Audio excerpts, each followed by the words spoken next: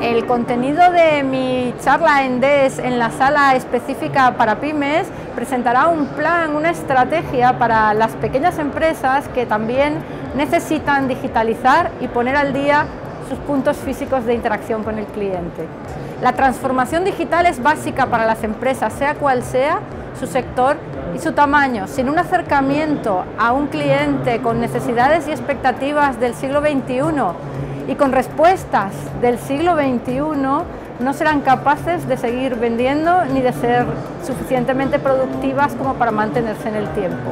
DES es el lugar para estar, es el lugar donde todo el mundo viene a ver y a aprender, con lo cual estamos muy agradecidos a la organización por esta oportunidad de compartir con todas las pequeñas empresas estrategias